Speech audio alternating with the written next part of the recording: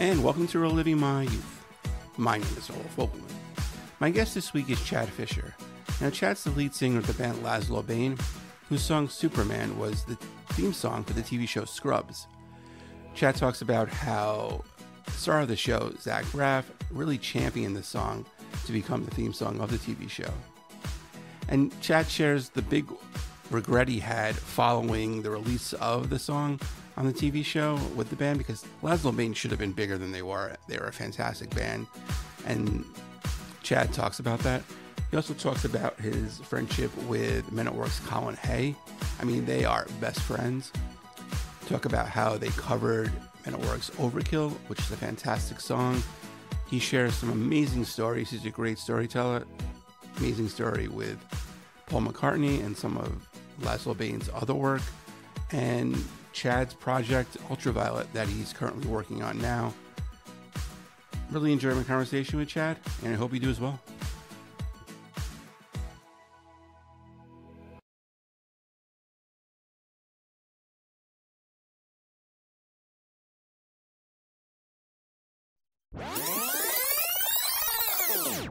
I'm always curious how how did now are you are you from a fan through Lazlo Bane or Um, I go way back. Um, I School saw of Fish? of course, School of Fish in Yeah. New York City Ah, uh, on my birthday in '93. wow. Yeah, Well, if it was 93, I was in the band at that point. That was the very tail end of right. of School of Fish. Yeah. Yeah, that was at Irving Plaza in the city. So Wow. yeah, Yeah. and then um, yeah, just followed. You know, uh, I didn't like put two and two together with Lazlo Bane that you were in it. I just dis- Yeah. discovered it through um, my college radio station. We got uh, Ah. what's it called? We got um, 11 transistor. Oh yeah. Yeah, Wow. you know, I was a fan of that. So I was doing like Wow. sports reports at the um at the station, and the DJ who I would uh, proceed would always let me pick the first song of a show. Nice. Yeah, so I did um I did uh Buttercup one time. Oh, Yeah. an interesting story behind Buttercup.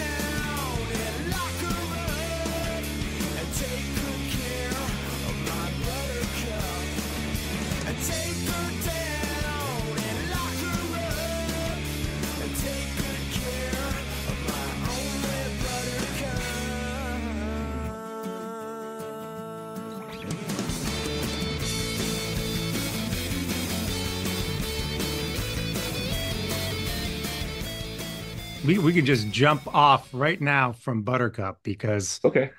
that not only was that a song written about an ex-girlfriend who I was lucky enough to get the gig playing drums on her album. That was a band called Star 69. Okay.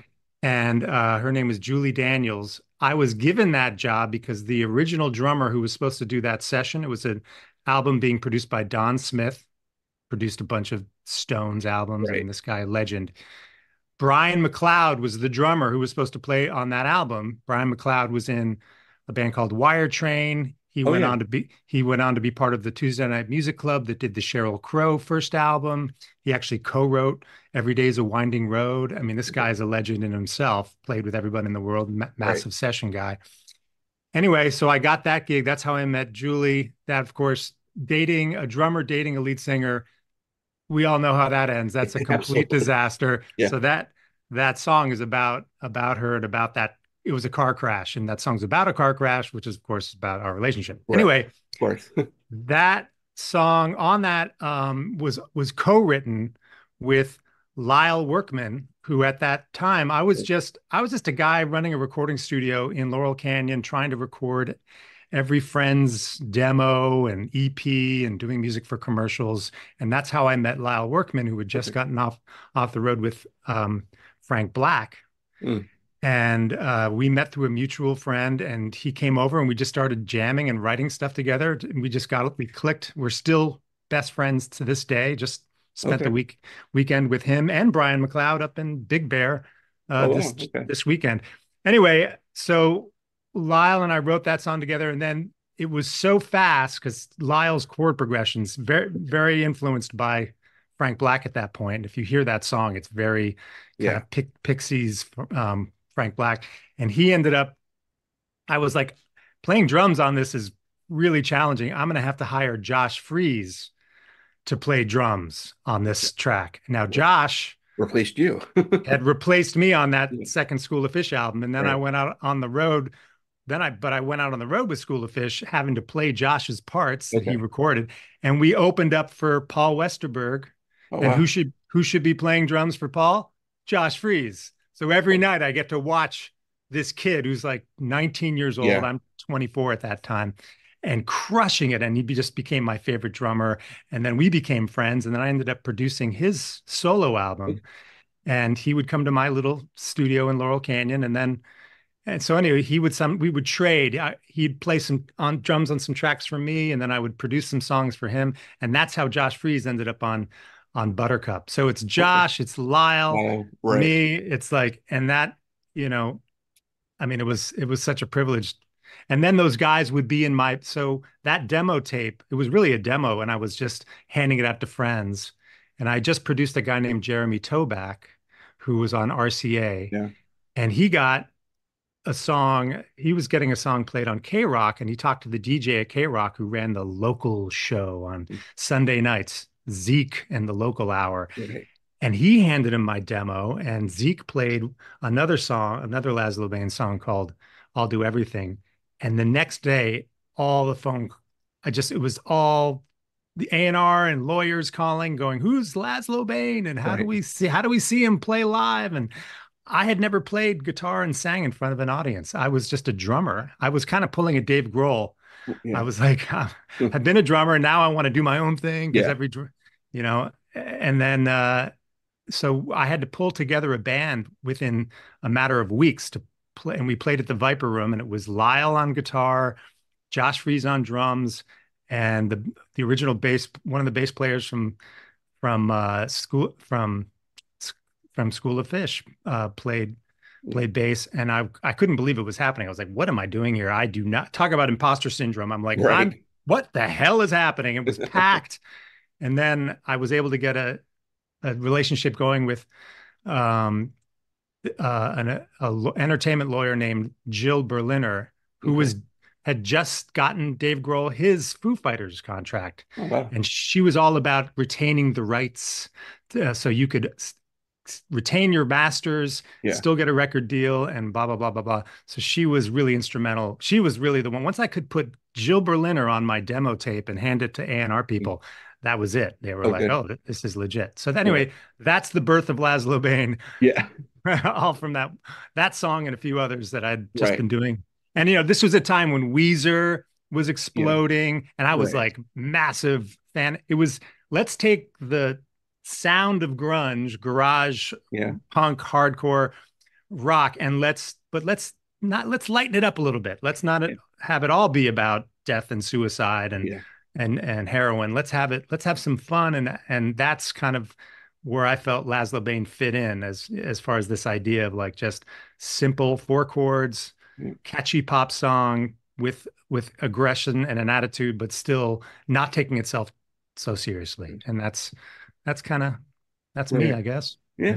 Not not no, don't take yourself so seriously. Yeah, exactly. Yeah. Exactly. And it's funny you mentioned uh Foo Fighters. I just saw them last month and who's drumming with them now?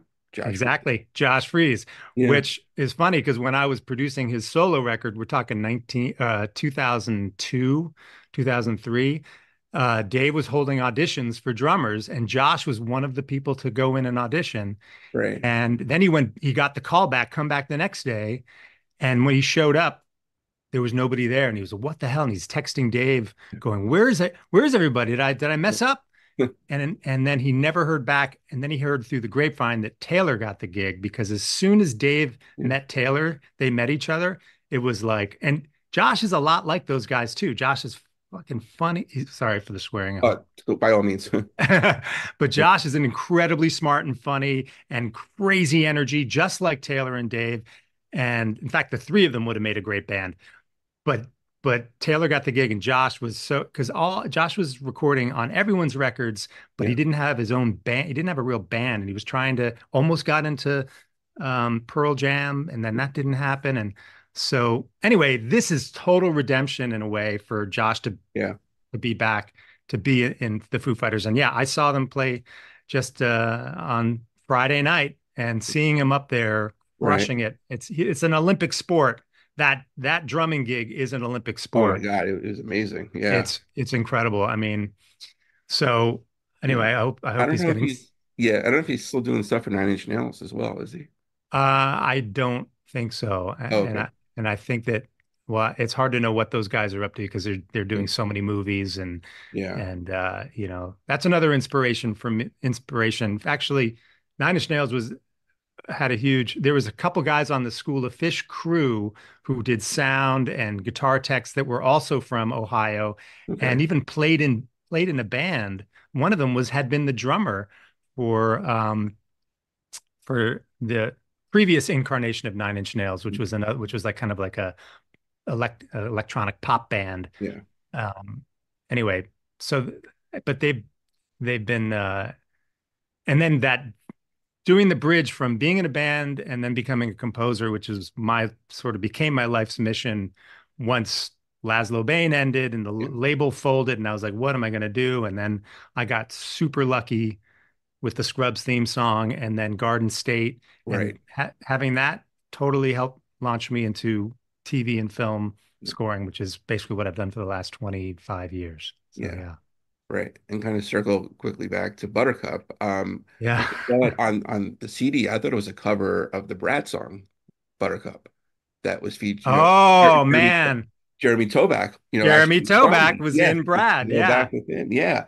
And Oh your version, God. obviously, great, completely different songs. I mean, they but- couldn't be too, they couldn't be more Yeah, different. But exactly. I mean, that guy, and I'm now spacing the, the singer's name in Brad, but that guy had the most incredible voice in that. And the sound of that, just yeah. just the sound of that and the vibe on that album is, Yeah. uh, and that's Stone Gossard, you Yeah. know, um, it's another Mhm. Pearl Jam. So it's funny how everything is everything just intertwined. Yeah. is intertwined. Yeah, six degrees, exactly. six degrees of Josh Freese or something. I don't know. Yeah, all right. It's funny because I, I was going to actually play that game with you because you're like intertwined with everybody uh, as well. But we'll get to that in a second. You finally came out with new music with Lazlo Bane, um, like a flower. I love the song. The video Oh, thanks. yeah, Yeah. very cool as well. Any album on the way?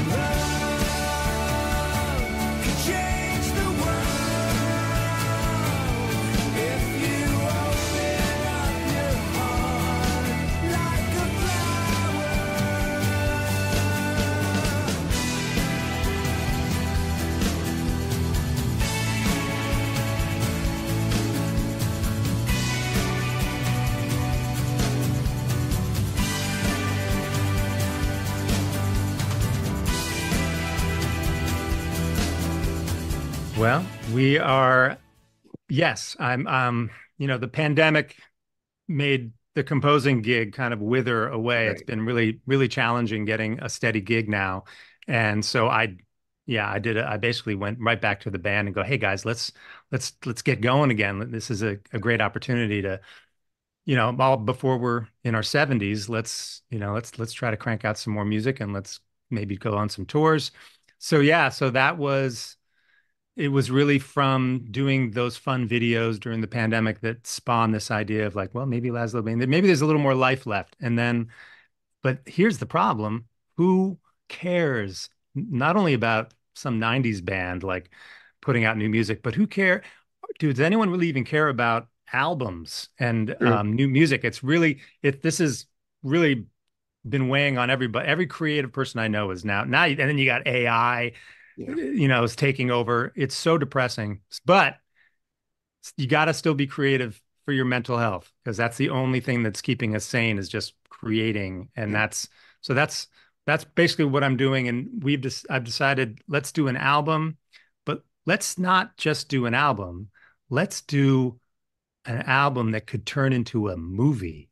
Okay. So we're making this album. It's got a whole story. You know, everyone's got to do their concept album at some point, right? Who had to do Tommy and but yeah. so we're doing a concept album. It's about a little girl who gets abducted by a, a space uh, dog and goes off into space to save a planet. and and I think I've got every great every great I don't know if anyone can see this, maybe only you can see this, but I say every great movie starts with a great movie poster. I don't know if you can see that right here.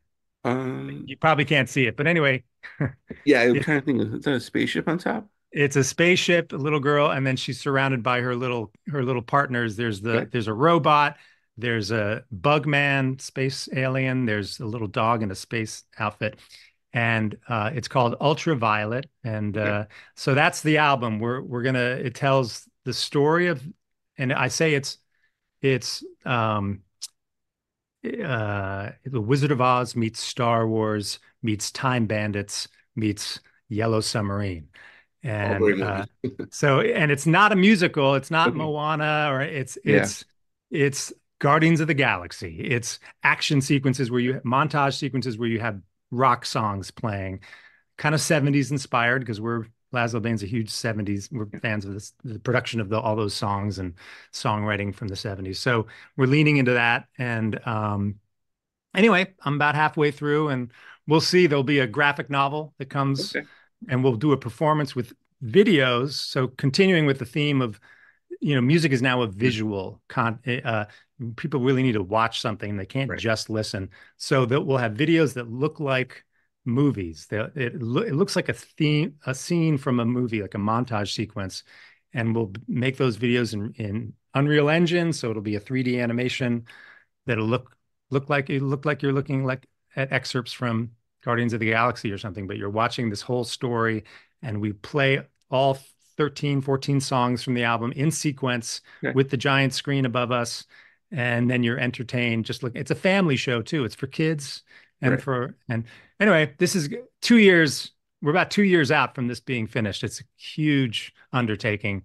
So while I'm got little gigs here and there, doing some stuff for other TV shows and films, yeah. this is my primary focus now, and it's um, I shouldn't probably be talking about it too much, but that's out of the bag now. yeah. No one's listening anyway. Yeah. Uh, but no, that, that sounds great. I, I look forward to listening to and hopefully watching it. Uh, yeah.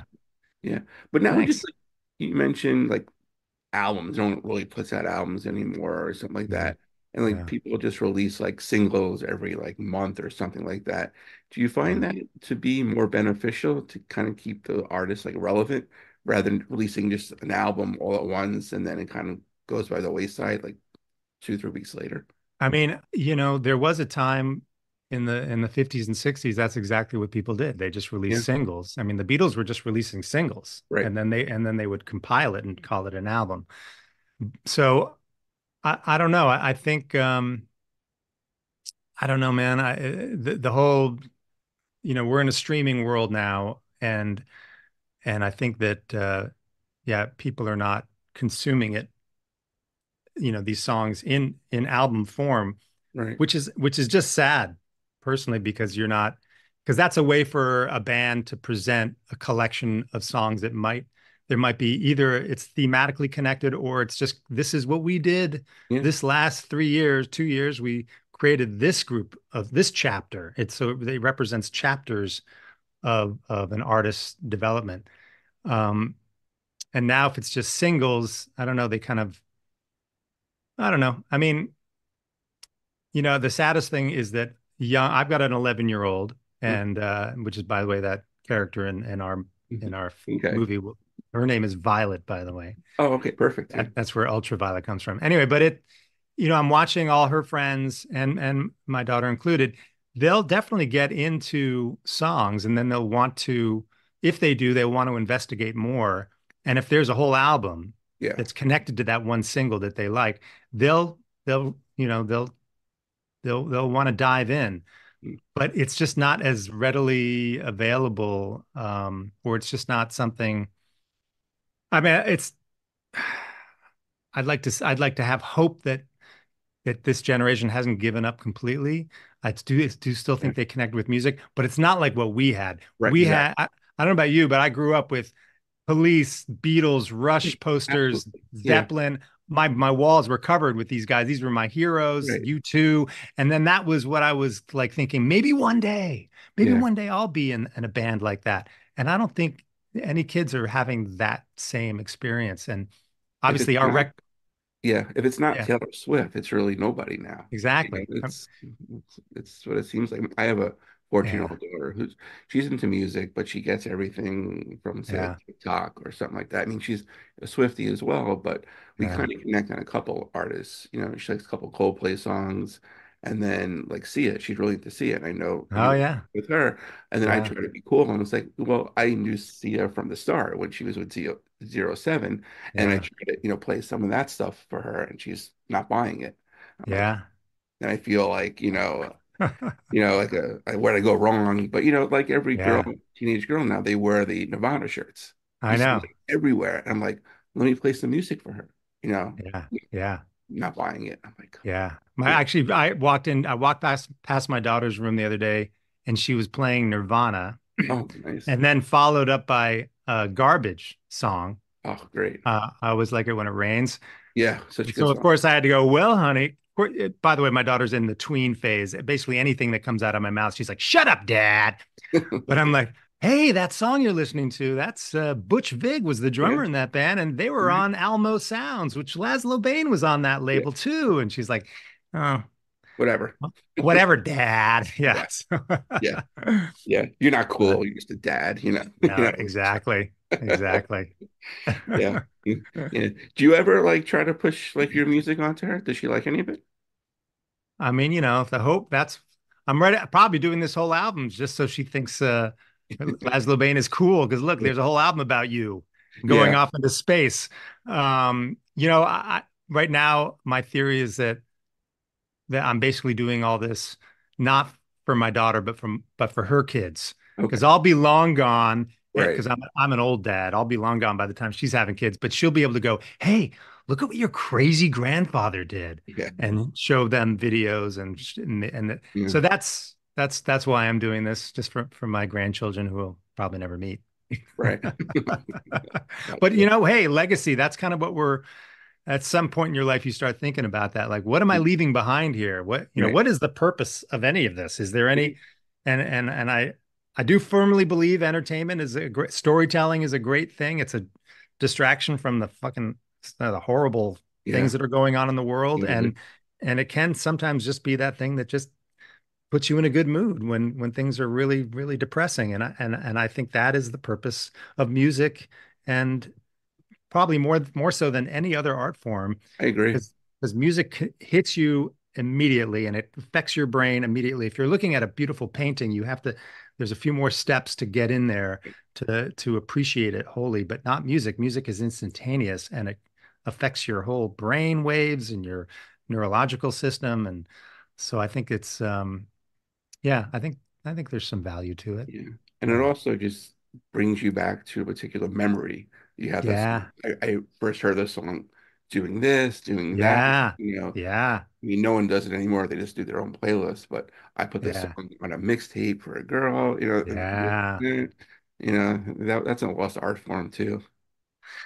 Yeah, I know. I mean, come on, everything that went with the music for us growing up, I mean, just the album artwork and Yeah, eh, reading all the notes. liner notes. Yeah. Yeah, And making mixtapes, you know, and draw maybe come up with your own little cover, you know, exactly. for and that's kind of I don't know. That's kind of gone. But It's a shame. I mean, I I have like thousands upon thousands of CDs, and then I never Yeah. buy, I didn't have a CD player in my house anymore. yeah. So I had to buy like one of those like four and ones with the vinyl and the tape deck and everything like that. So I Yeah. got a record collection from my mom's house, brought it over, started playing them. It sounded great, but now it's like Yeah. buy a album in a store, it's like 35 bucks. Yeah. It's crazy when it was Yeah. like 10 bucks when we were younger. Yeah. But I mean, you the the the argument that streamers will always make is that well, not everything's accessible. Anyone you can find once Which you pay our, great. our nine dollars a month, whatever, you can you can have Yeah. access to everything.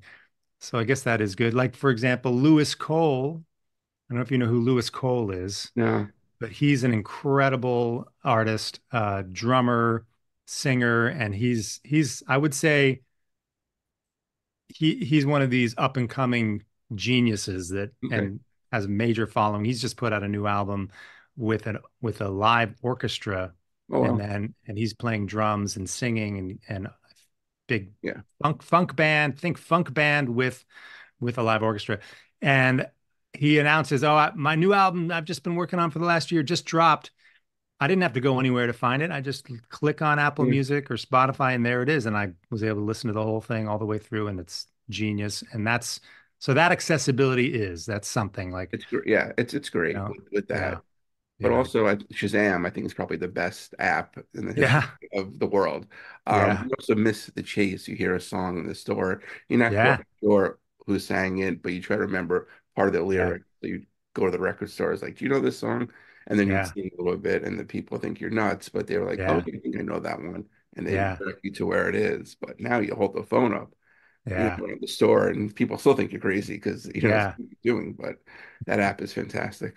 You know what I think would be great is if Spotify and Apple Music were were less money per month. Maybe it was a dollar a month, not nine ninety nine, a dollar a month. So people really feel like they're getting everything for free. But then what you do is when you want to listen to the full album or the full song, then you have to pay two cents, something really minimal where you don't even think it's nothing. Yeah. Ah, and that way there's an actual acu- then then artists are accumulating money based on what their people are want to listen to and willing Right. to pay for.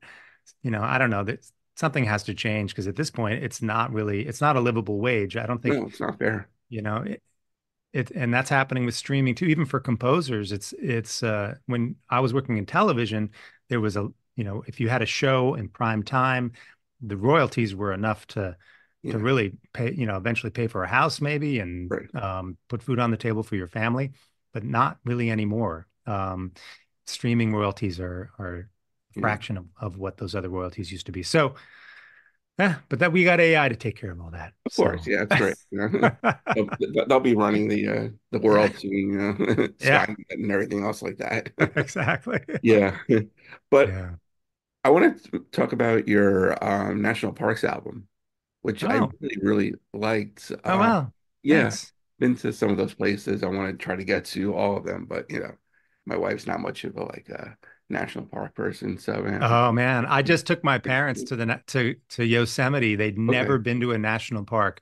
My parents are full on North uh New Englanders, East Coasters. It's all about sailing. So they'll take their boat up to Maine, they'll go across the Atlantic. That's like Right. and uh, but they've never been to a national park. They kind of think of that as, oh, that's like RV parks. We're not RV people. We're Right. we're boat people. Anyway, I'm like, well, you guys are missing out. And I finally convinced them to come out, and I took them and my my wife's uh, parents and, and our daughter to Yosemite. And I, and I don't know if you've ever been to Yosemite, but you go No. through this you go through this tunnel, right? And at the end of the tunnel, there's a place to park and take pictures, and it's Ansel Adams. It's the Ansel Adams hmm. poster you've seen all over the world Right. and you just can't believe you're you're it's you're looking at this incredible it looks like a painting it's it's it's insane and that anyway they were awestruck they they were like it was great to see them admit that they were wrong they were like Right. wow this is unbelievable Yeah. so anyway that was I, I you know we had been doing a little bit of traveling and going to the go, we, we had gone to yellowstone and um and then and then I got in a bike accident. I I I'm a, I do a lot of cycling, Okay. and I that's kind of another way to stay sane is is to do these sort of long three four hour bike rides. Right. And then I was riding on a wet road, and I I took a turn and went down, broke my collarbone Wow. and my rib, five ribs, and I wasn't able to do anything. And I just I got home, and since I wasn't able to go out and ride and do all that stuff, I I started. I was like, okay, I guess I'm just gonna I'll write an al an instrumental album, and then and then I wanted to. And I was thinking about, well, what videos will I make for the for the songs? And I was like, well, I could use all this footage I just took when I we were at Yosemite, and so then it slowly became an album about the national parks. And uh and of course i'm trying to also the show i had been working on scandal had just Right. ended. So i i also needed to kind of have a new basically like a new demo reel or a new calling card. And uh, what i always wanted to, to do was score either a science fiction film or maybe a nature uh, documentary and so i was writing music thinking about that and all the music on that album is basically very cinematic and trying to not uh, you know capture the grandiose um, beauty of those parks, but also um, music that could be used and hopefully tempt. So when editors are working on a first edit for their film, they're temping music from other projects. So that's what this music was supposed to be. You could just throw it into your scene and it would magically score some big epic sequence and then I'd be able to get that job. That's kind of so it was a bit of a calling card. Um, but it was a it was a ton of fun and uh I'm pretty I'm really proud of the way that record turned out. I'm also a huge fan of Oliver Arnalds, Max Richter. These are composers from well, Oliver's from from um, Iceland and Okay. and Max is from from Germany. But the, those guys are are a great example of composers not only coming up with amazing score for movies, but putting out albums of instrumental music that are just incredibly emotive and and powerful and and uh, so there's a lot of influence from those guys on that album too. So Yeah, no, it's I, I really enjoy it a lot. It's well, thanks. yeah. And it was funny when I was doing some research and Googling, I found out that actually there was a Chad Fisher who worked at the National Park Service. Ooh. Yeah, he, an article came out because he recently retired. So I'm like, oh, that's kind of interesting. I, I, I Was it Chad Fisher with a C? no C, so Oh, no C. that would Oh, be yeah. interesting if it was, but yeah. well, you know what? Actually, one of the songs is now the theme song for the National Parks podcast. Okay. Yeah, and that was just because I sent the album to the Nature Conservancy that that is trying to protect lands from drilling, you know, and on on parklands, and they, uh, yeah, so they and I was hoping that they'd use the music maybe in some of their videos, Mhm. and then they ended up uh, choosing one of the tracks for the uh, theme song for I think it's called "The Secret Lives of National Parks." Is the Okay. name? Yeah, so Oh, that that's that was that was fun. That was worth making the album right there, Yeah. just to have Right. that happen. So that was, Yeah. yeah. And I know you kind of was you mentioned like science you want to do a science fiction uh like score and I noticed I think it was the Dear God video you had a Star Wars poster in in there. Oh, I, I think that was the, the the video you did. So yeah. what Oh, yeah, what do you consider the best science fiction score? ooh.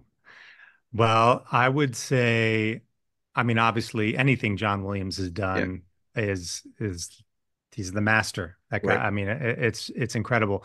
But I'm also a fan of of electronic um, scores as well. So then, major tip of the hat um, for Blade Runner and um, Yes. Oh, wait, see, I knew this was going to happen. I was going to like, I'm going to be forgetting names and things on Yeah. this podcast. I should write everything down. Right. And and I'm now forgetting the name of the, the composer for Blade Runner, which is a massive mistake. And I'm gonna I'm gonna have to look it up because that is sacrilege. Uh, but that's um, and that that that score is amazing because that guy was um was run was was writing that Vangelis. Thank you. Yeah.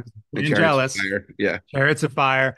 And he would he had this whole setup with his keyboard with his synthesizers uh, where he's using his feet, both hands, and he's writing and he's performing, improvising to picture live. Okay. So what you're hearing sometimes is exactly what he just played off the top of his head while he was watching picture and playing this cr- crazy setup in his studio. So that that even makes it even more magical and, and insane. But um, but yeah. So I and I'll and just I'm always been a huge sci-fi nerd. I mean, those movies yeah. starting starting with uh George Lucas's first film, Oh, uh, THX. THX eleven thirty eight. Yep. Yeah, that. I mean, I was I grew up, so I was just a little kid, and I would sneak the tiny little TV that was in our guest room for my when my grandmother would visit. She'd have the little tiny TV. I would steal that and put it under my covers in my bed, and I'd have my knees up, so the TV's under my knees, and then I'd have the covers over me, and I'd have a book on my knees. So when my parents would walk in, they'd think, "Oh, oh look, he's reading." And then as soon as they're gone, I'd I'd lift up the covers and I'd turn up the volume.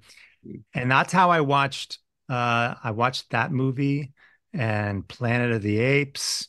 And there there was some sci-fi channel, and this is in Boston. I grew up in Boston, uh, maybe on channel 56 or 38. Then they would play these movies like late at night, and I was hooked. That was uh that was yeah, that was kind of the birth of of my fascination with all that all those those movies and their scores and yeah Yeah, the Planet of the Apes movies are great. They're Oh, yeah. music. It's yeah, fantastic. Anytime I put well the my wife, it's like, why are you watching this again? the second uh, Lazlo Bane album is called All the Time in the World Yeah. and that's because that's a line from Planet of the Apes it's actually the second Planet of the Apes movie and someone says something like well we don't have to worry about this we've got all the time in the world and then I I heard that and I'm I'm always actually watching so much so many of these movies I'm always jotting ideas down and so there's a lot of Lazlo Bane songs about movies um for that reason When do you like write? Do you actually have a pad with you? Do you use like the Notes app on the phones? How,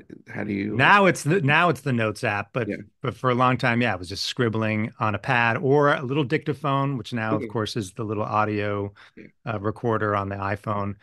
And you know, a lot of ideas come when I'm on my bike rides. Okay. There's some, they they've done studies that say when you're moving forward, there's something about the motion of watching things going by you that triggers something in the brain, which triggers ideas and thoughts. And who knows where that comes from? Maybe when we were out there hunting, uh, you know, running through the the jungle and the forest, and you're just trying to think of survival, and you need to come up with ideas to how to survive.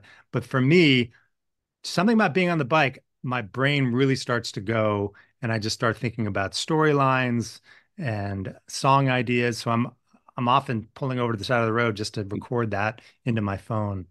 And uh, in fact, a lot of this ultraviolet uh, album and the storyline, which is all completed now, is all come from when I'm just riding my bike. It's Yeah. awesome. Yeah. Yeah. So to mention a couple people, kind of do like a six degrees now of uh sure. The first one we'll do was uh Josh Clayton Felt. yeah. Yeah. Um, how'd you meet him and how did that come about? Yeah. So Josh, the lead singer from School of Fish, um, he and I met at a orientation barbecue in Brookline, Massachusetts for Brown University. So we had both been, this was uh, like a barbecue in the summertime, probably happened like right around now in, in, Au- in August. And it's for incoming uh, freshman students. And it was just a way to get to meet people from your neighborhood who were going to go to to Brown. And and I'm literally at the punch bowl going I don't know I don't know anybody here. What am I doing here? How did I even get into this school? And uh that's another story.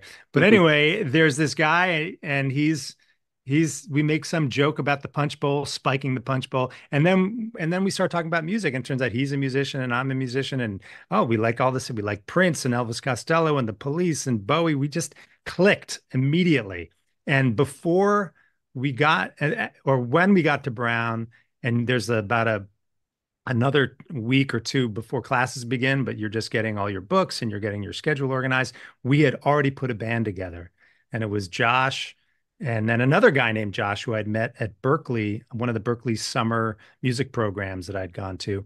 So it was a trio, and we had we were a cover band called The Eyes, and we played just like I said earlier, we played Bowie and and The Clash and Police and and we were playing frat parties. We were playing. Uh, Brown had a great club called the Underground where they really encouraged bands to be original, like write original music, and so we started doing that as well. But that freshman year was as much about learning, going to class, and I also I was a rower at um, at Brown as well, which took up a lot of time. Somehow I managed to squeeze the band in, but the band became like a major major part of my life. And after freshman year, Josh and I looked at each other and said, "Hey, let's go to LA, the Mecca, and find out like what's going on, what it would be like to live in LA and pursue this as a profession." So we drove across country in in his parents' uh, minivan, and we got to LA. And Josh's sister and brother-in-law lived in LA, and Josh's brother-in-law worked for Warner Brothers Music and um, he was an A&R guy. So Josh was convinced this was this is what he wanted to do. By the end of that summer, he was like, "Dude, I can't go back to Brown." And I'm like, "Oh my god, if I told my parents I wasn't going back to Brown, they would chop my head off. It took everything to get into this school." So I said, "Okay, man, you go for it." and I fully support you. And then I went back to school. Meanwhile, I'm getting phone calls from Josh's parents like, can you please convince him to come back to school? oh my God, what's happening?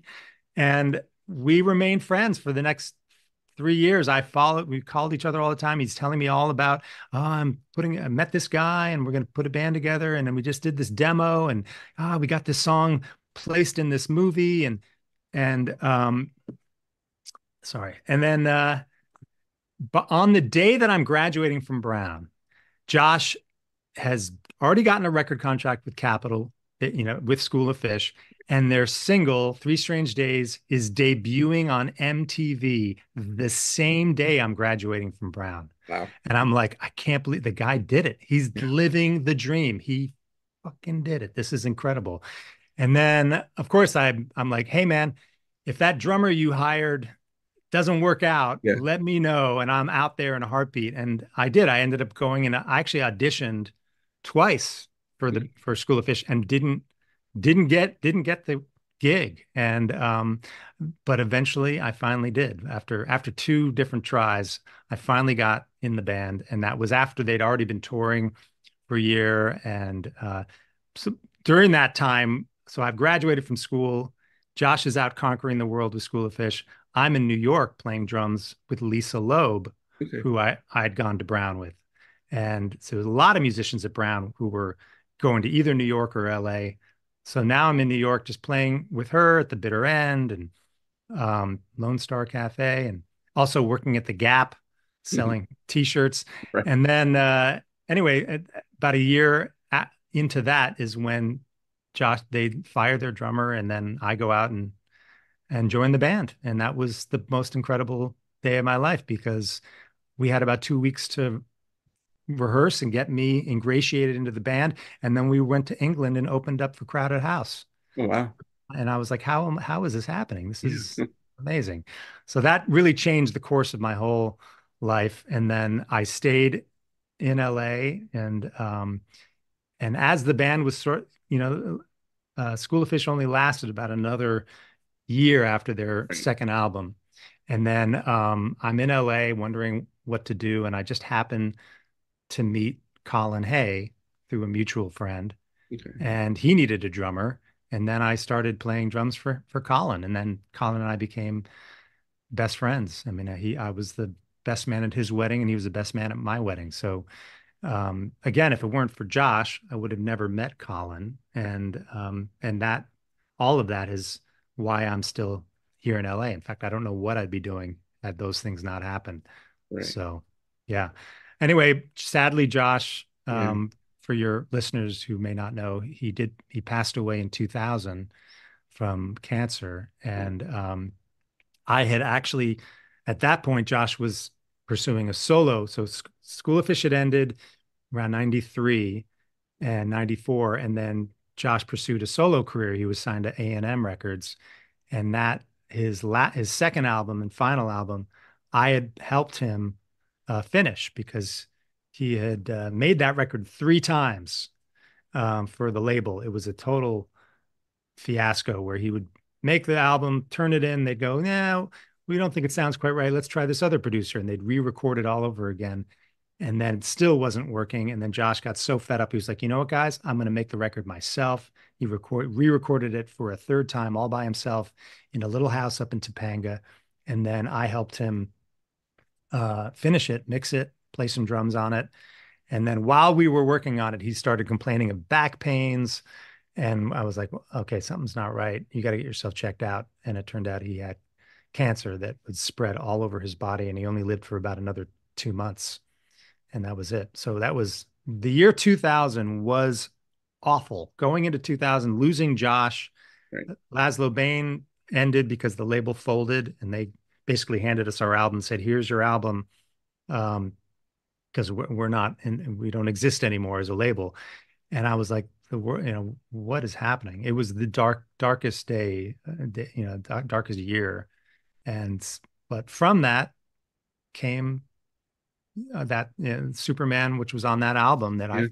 I um, ended up, I was just handing it out at barbecues and Zack Braff happened to be at one of the barbecues because he lived right up the road and I was producing a bunch of his friends, uh, Cary Brothers, who he'd gone to college with. And then uh, Zack was like, "Hey, man, this song, this should be the theme song for uh, this show, this pilot I'm working on." I'm like, "Yeah, well, that sounds sounds like a great idea." and he actually fully made that happen all on his own. He he pitched it to the producers and he played it for them and had the makeup artist and the wardrobe person walk by the office when he played the song and told them stop in the doorway and say how much you love the song. And they did. They were like oh wow i love that song. And that that that's how he got superman to be the theme song for scrubs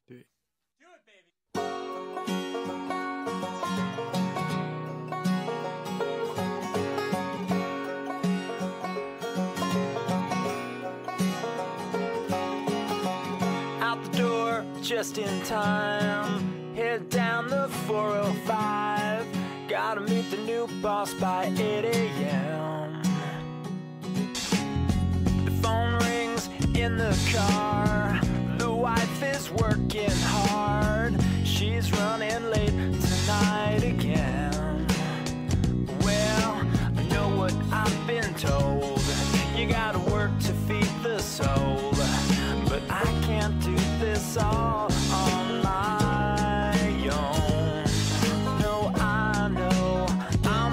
Superman.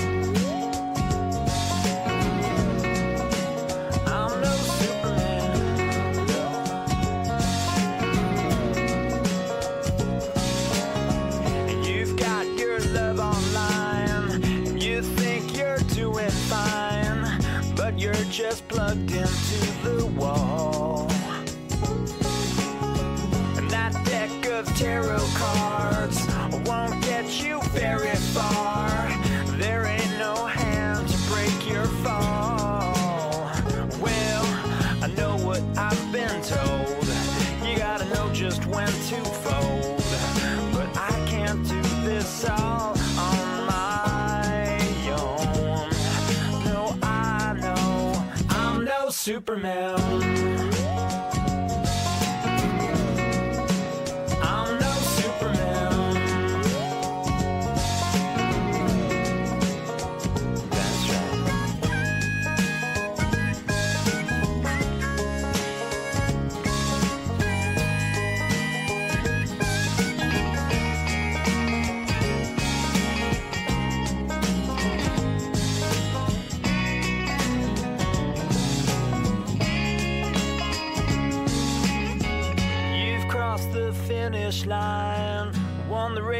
lost your mind.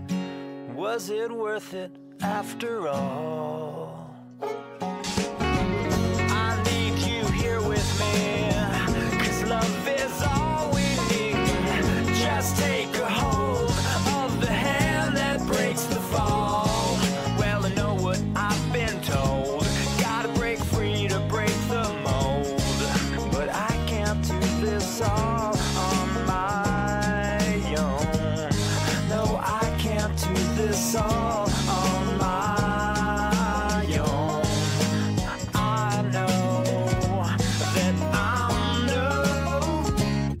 Superman.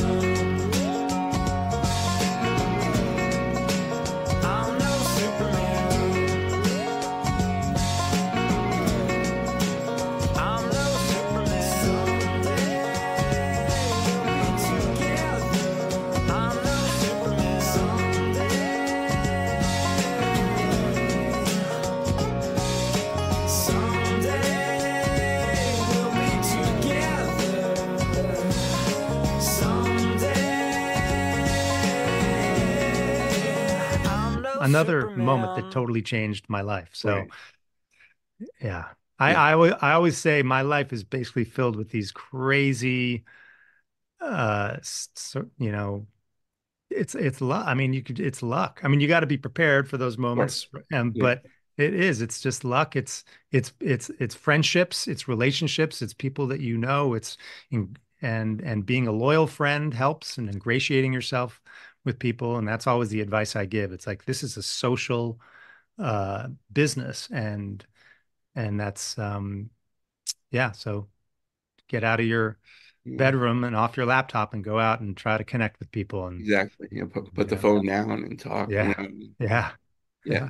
And the which I found this to be like freakishly amazing. The cover you did for the Three Strange Days for the Someday We'll Be Together album. The video Wow. featured someone who looked just like Josh. Yeah, isn't that crazy? That's Yeah. an en- that was an engineer who was working up at Colin's Studio in Topanga, and uh, and I saw this guy and I was like, Colin, why didn't you tell me Josh's doppelganger was working for you?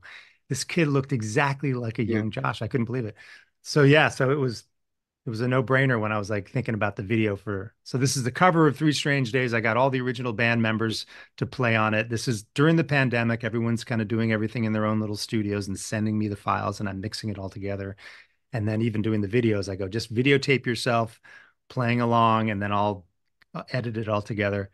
But yeah, and then getting that guy who looked just like Josh to play the sitar because Josh was totally he was the spiritual, he was the the Right. George Harrison, you know, character in uh in that band. And he uh yeah, that and now sadly we've lost Michael, the the Yeah. guitarist. And um so that now that video has double meaning for being a tribute to Yeah. to to both those guys. And it's uh yeah, it's yeah, it's been it's been rough. This has been a rough a rough year. We've been losing so many people, and it's just Yeah.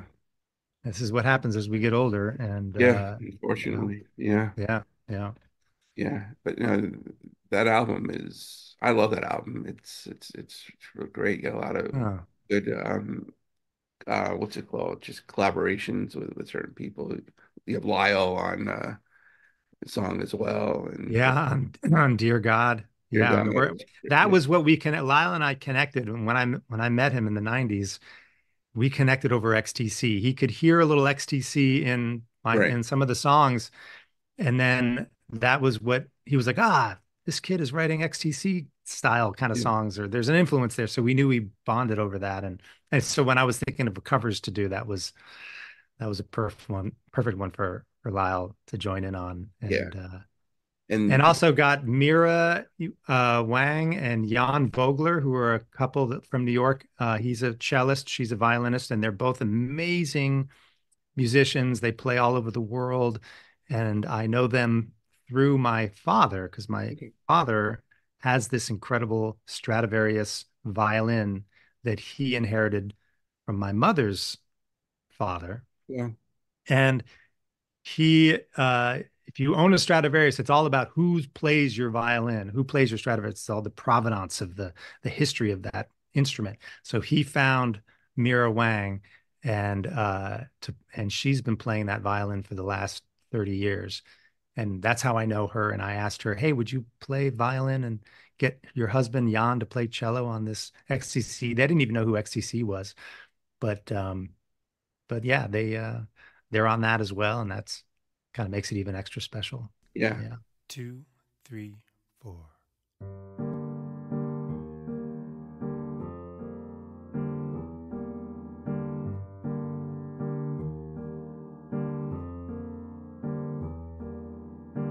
Dear God, hope you get the letter and I pray you can make it better down here. I don't mean a big reduction in the price of beer.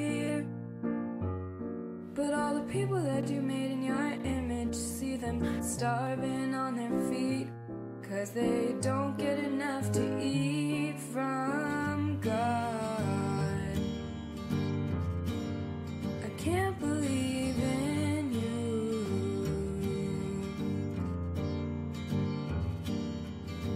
Dear God, sorry to disturb you, but I feel that I should be heard loud and clear. We all need reduction in amount of tears. And all the people that you made in your image, see them fighting in the streets. Cause they can't make opinions meet about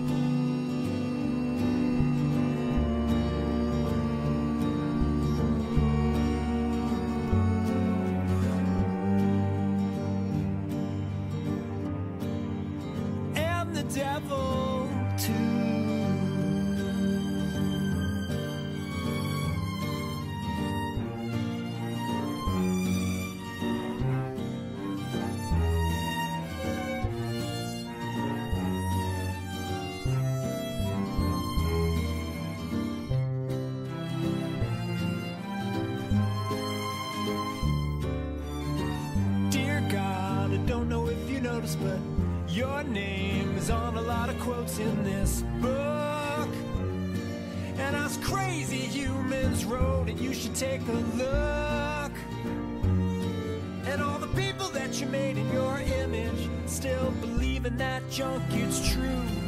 Well, I know it ain't so to you, dear God. I can't believe in. I don't believe in. I won't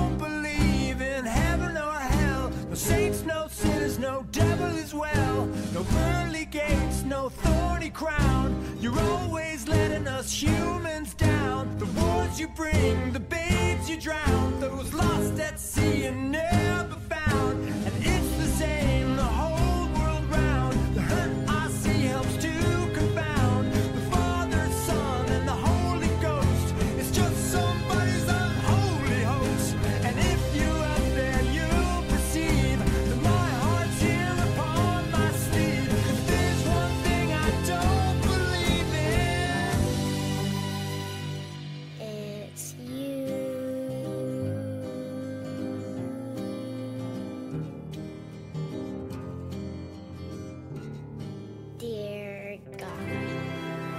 Andy Partridge did such an amazing job in oh, that. Oh, yeah. Even like Sarah McLachlan's cover of that song is is great too. Oh, you know what? I, I didn't even know she did cover oh, that. Oh, yeah. And that, and now Lyle's on tour with Sarah McLachlan.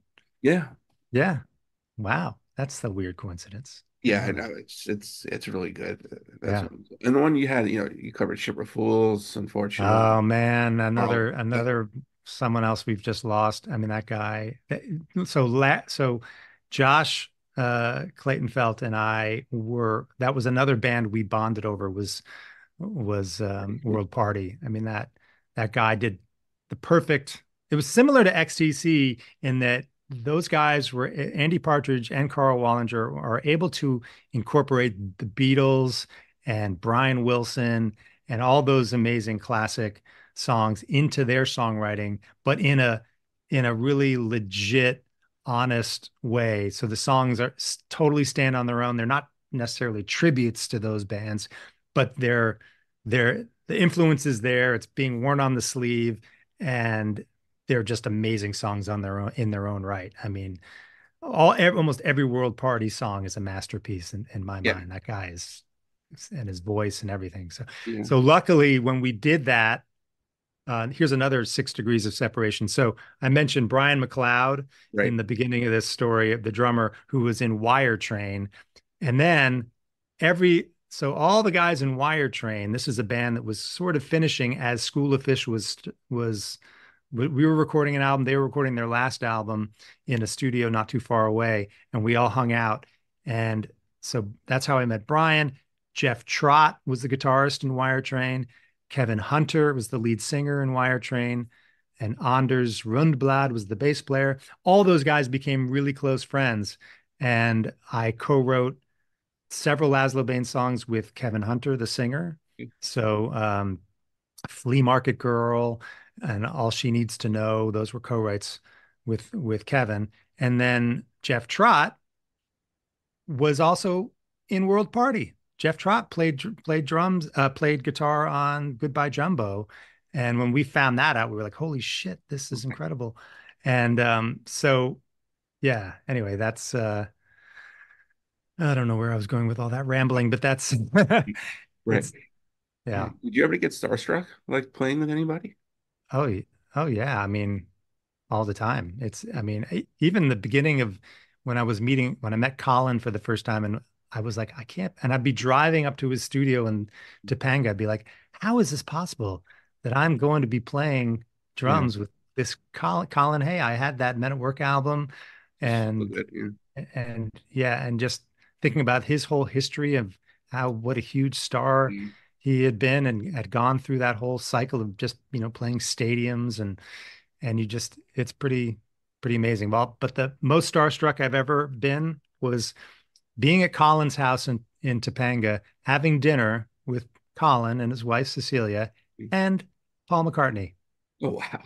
and and and uh, his wife at the time um whose name i'm now forgetting as well the one who who had the she was the amputee um oh, after Linda. Um, right. Um, I don't remember. Yeah, I'm spacing her name. Anyway, they it was that was the most incredible experience to be sitting at an intimate dinner.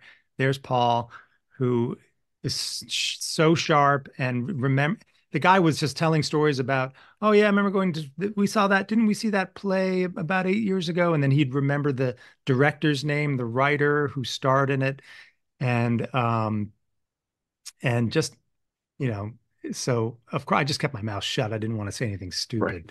So, but but there was a, a great I love telling the story. There was a great moment when Colin said to Paul, Hey, do you ever just wish you were on back on the charts with a number one hit song?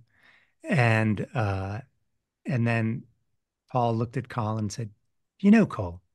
He looked around the room. Here we are in this beautiful house in Topanga. It looks like a it's an oversized log cabin, but like a towering stone fireplace and beautiful windows surrounded by trees.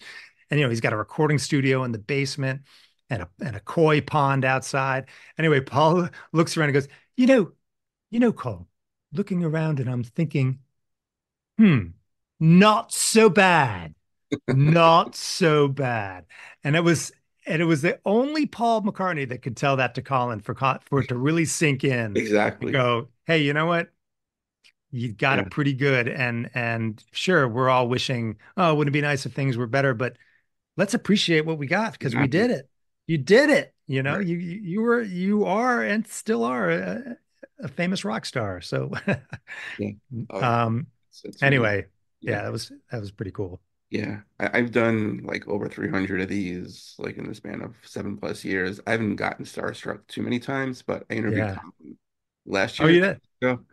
I got a little starstruck with him, and Yeah. yeah, and he was in that house being interviewed, and it was Yeah.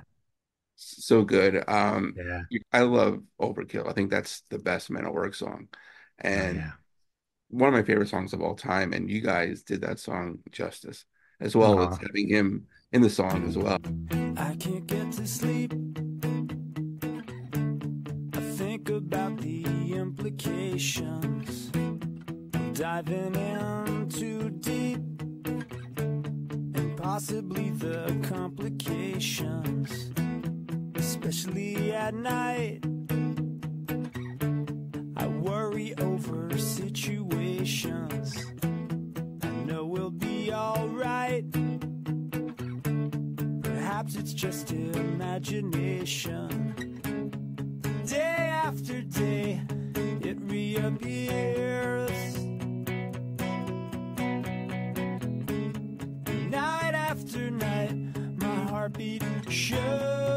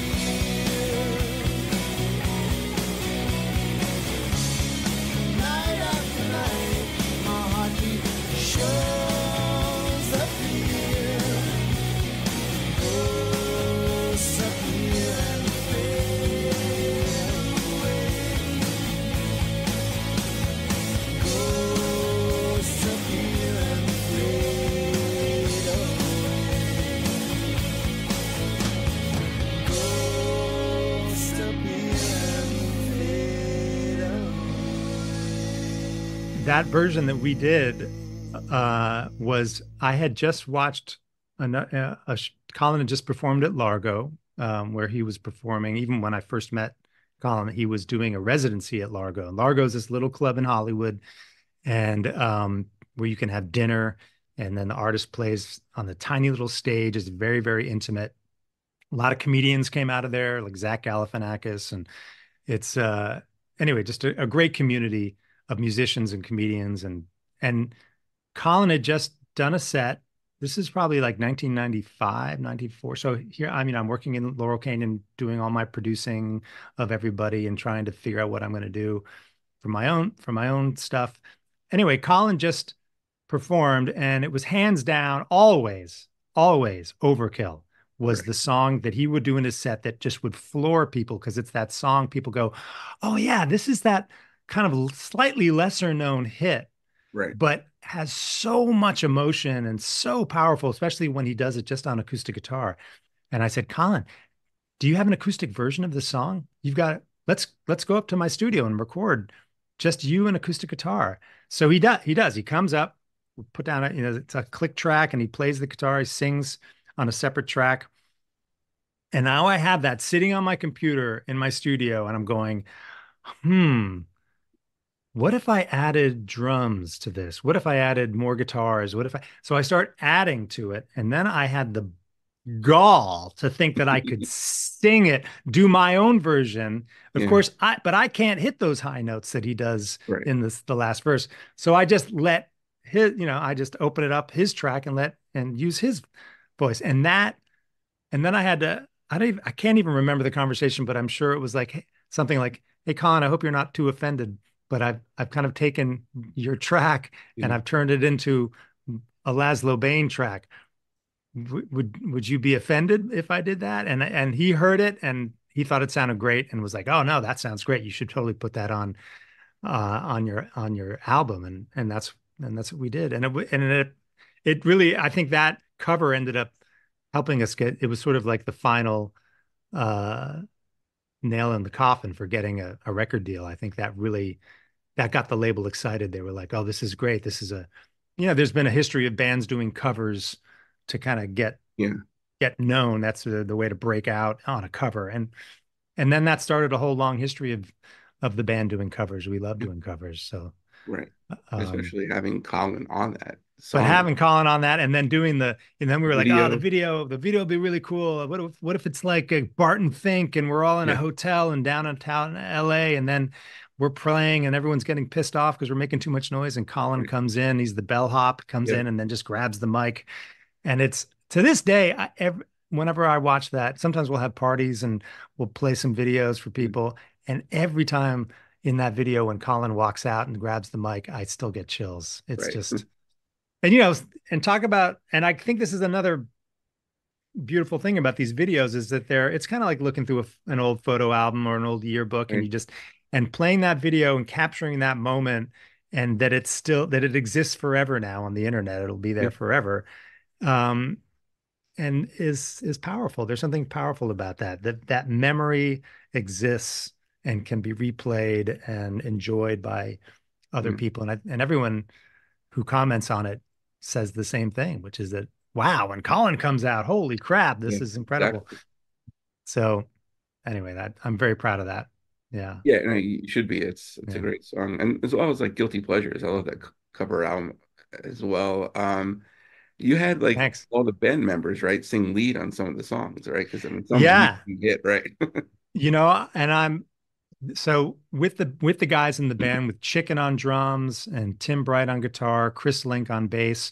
Those guys are all they're better they're better musicians than I am. I'm sort of like the idea guy who wants Yeah. to like very ambitious about these big plans we're going to do, but those guys are incredibly talented and I'm a huge fan of bands where everyone rotates on the vocals, you know, obviously the Beatles Yeah. being being the, the primary version. And I love it when Ringo takes on a song and I'm like, but Chicken has this incredible soulful voice.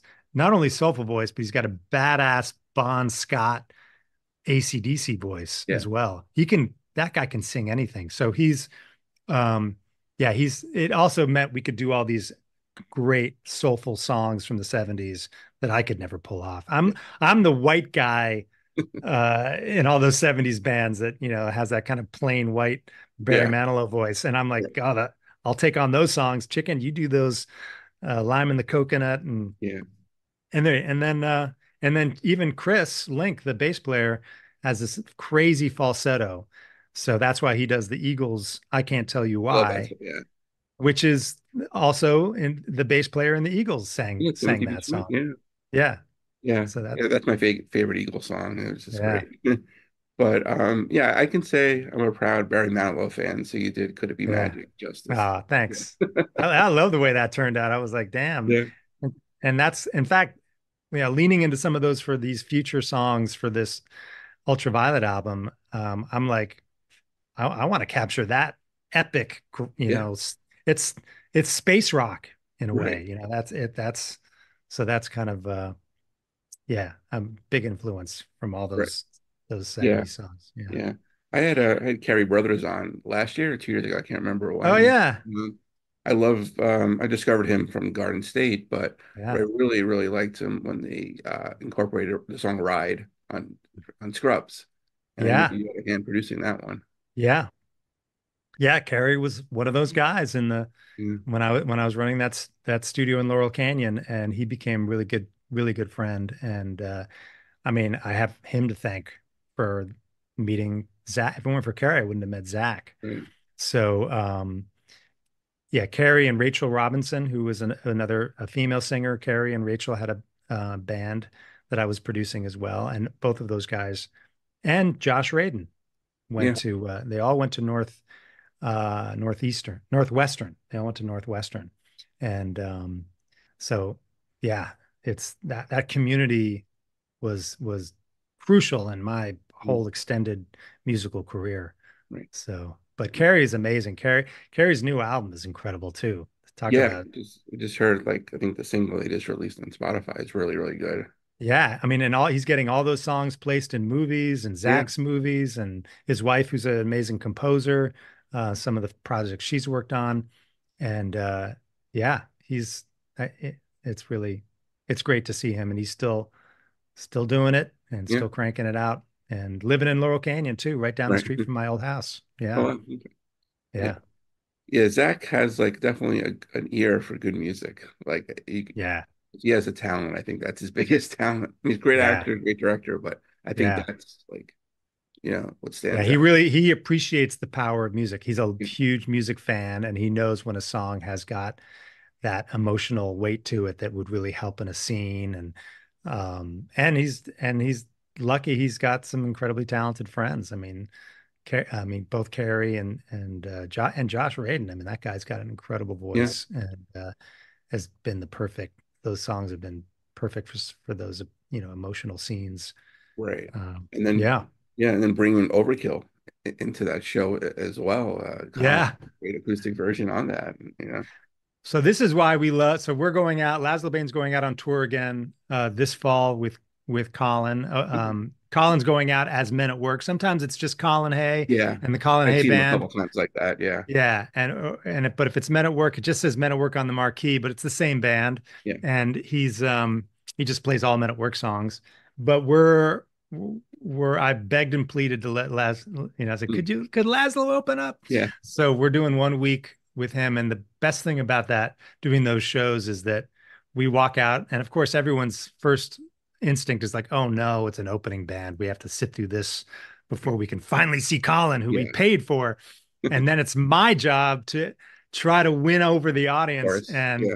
and so I tell all the stories about how Colin and I met and I'm, I'm his illegitimate love child and all this stuff and then by the end we've totally won them over and everyone's standing up giving us Yeah. a standing ovation especially with Scrubs because half the audience there uh, rediscovered Colin through Scrubs exactly. so Yeah, you know and Garden State so it's it's kind of perfect you know right. I- and I always remind him of that. I go, Colin, aren't we really the best opener? I mean, we're the best fluffer band for you, aren't we? Yeah. So, it, it- it's amazing how his career changed from like the 80s Men at Work and you know Colin Hay's Yeah. singer songwriter he really became. and you know, it's I think the a great example of someone who's getting who's getting the rewards from because he did the work. That guy works harder than anyone I know. If he's he's obsessed with always writing, getting ready for another tour, doing another album. He doesn't want to go tour unless there's a new album that he's able to promote.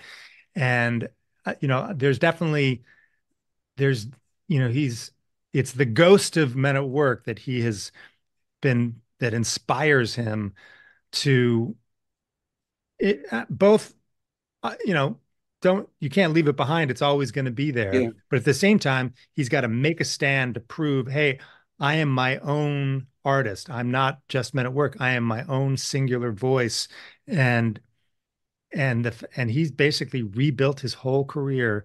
When i met him he was right in the beginning of that process of like i'm going to rebuild my entire career and he has to go out and go on these tours where we were and i was playing drums for him sometimes there'd only be about two or 200 people in the room or maybe you know half empty room and he built it all the way back because every time people see him perform, they're blown away. Right. I mean, yeah. his his voice, his storytelling is just as good as it gets, and um, Yeah. so yeah, it's kind of it's kind of nice to see to see that someone was able to single handedly rebuild their career, and now he, the guy goes out and he sells out two thousand seaters, you know, all over all over the place, and it's it's amazing. Yeah. A- And, it's 72, he's 71. I think he's 71. His voice is never is is just as strong as it was 40 years ago. Still hits every single note. And that's because he's practicing nonstop. He's doing all the vocal exercises, Yeah. still takes guitar lessons. Wow. Yeah. He's like, I'm like, I'll call him. Hey, you want to go grab some lunch? What are you up to? He's like, Oh, I'm just finishing up uh, some scales, and uh, I'll see you at the coffee shop. right. So it's yeah, the guy put in the work, Yeah. and that's and, and it, you know, it shows. I mean, you know, the, the payoff is great. yeah, it's you know. incredible. It's fantastic. Yeah. Yeah. You remember where you were the first time you heard one of your songs on the radio?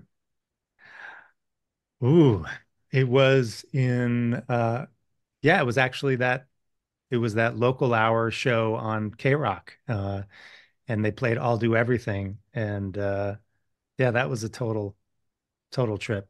Right. It's it's it's crazy.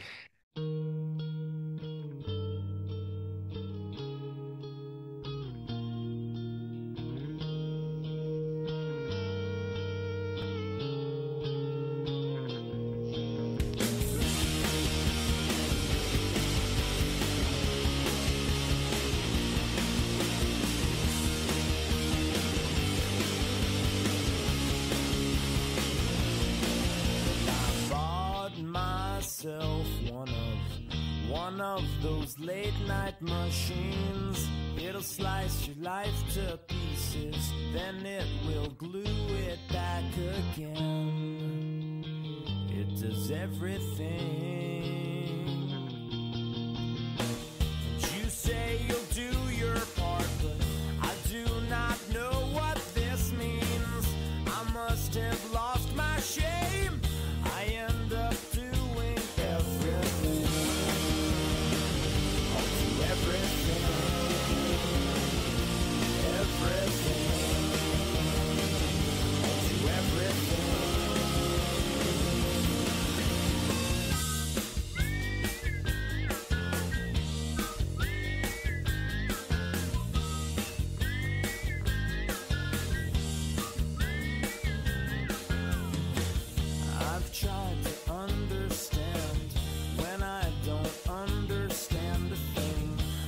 tried to learn from God, cause He knows not to make a scene when He does everything.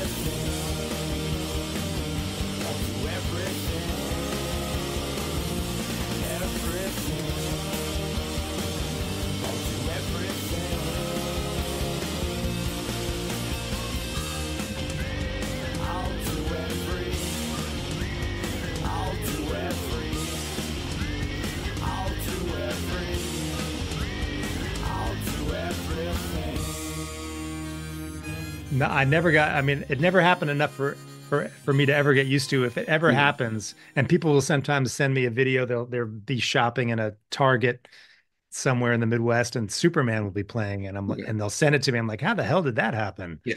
and uh, people up in the Bay Area will say that they hear it on the radio sometimes, and I'm and I'm just I can't believe it. So I, I still feel like Lazlo Bane is we're we're the band that people will discover uh, and go, what the hell? Why did this band never become famous? Like they, I heard their one song on Scrubs, and then I started listening to some of their other songs, and what the hell's going on? Yeah. And I love that. That's kind of, I don't know.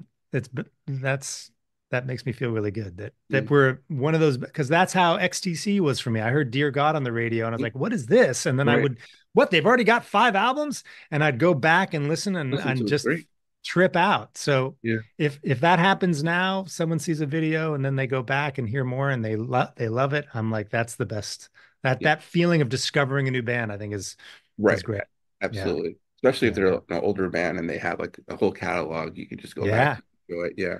The one thing I do do regret though is that when we finally had Scrubs on on uh, the theme song happening, that was an opportunity to then maybe go out and tour and Right. tour and develop a fan base. And sadly, it didn't happen because both me and Tim, the guitarist, we got into doing score for our first show was called Private Private Practice, which was Right. a spin spin-off of Grey's Anatomy. Mhm. And that just became so all, all encompassing where we're just working nonstop in the studio, cranking out scores for these hour long episodes. And there's no time to do anything. You just you're just writing all this instrumental score. And now I'm like, ah, that kind of sucks. Cause because wouldn't it be amazing if we could just book a tour of theaters, Yeah. you know, do something, you know, be like Wilco and still Right. have, you know, a, a, and have a real following. That would that would because it's touring now that we're older is so much fun because you don't care. You go out on stage and you're just grateful. You're just there. I'm Yeah. so happy and grateful to be on stage that people are actually here to listen and and that and that I you know and I think we actually sound pretty good. And I'm like this is this is great. Because when we were touring in the 90s I was terrified. I was a total imposter syndrome. Like what am Right. I I don't belong here. I can't even really sing that great. What am I doing? This is ridiculous. So when that ended I was felt like a little bit of relief. Like oh I don't have to do that anymore. I can just create music and get paid as a composer. That that is you know I can live in my little studio and and do that. That's that's that's perfect. But now i'm regretting it. Now i'm like ah i love because i love performing. Is so much fun. So who knows? We'll Yeah. see uh, we'll see what the future holds for lazlo bane but i'm hoping there's going to be uh, i'm so committed to this idea that we're going to keep playing live that i just bought a 1977 argosy airstream motorhome Okay. and i'm having it completely refurbished and gutted to turn into a little tour bus Okay. for the band and it'll say ultraviolet on the side Nice. and we'll Uh, so yeah, as long as your daughter approves of it, right? yeah Yeah. But Chad, this was amazing. I really appreciate the time today. Uh, Oh, thanks, man. Ultraviolet and everything else. i really appreciate it thanks for letting me ramble on and i'm sorry if i i, I did have one extra cup of coffee just to wake myself up for this so i probably ended up chattering a little bit more than i i should have but i appreciate you listening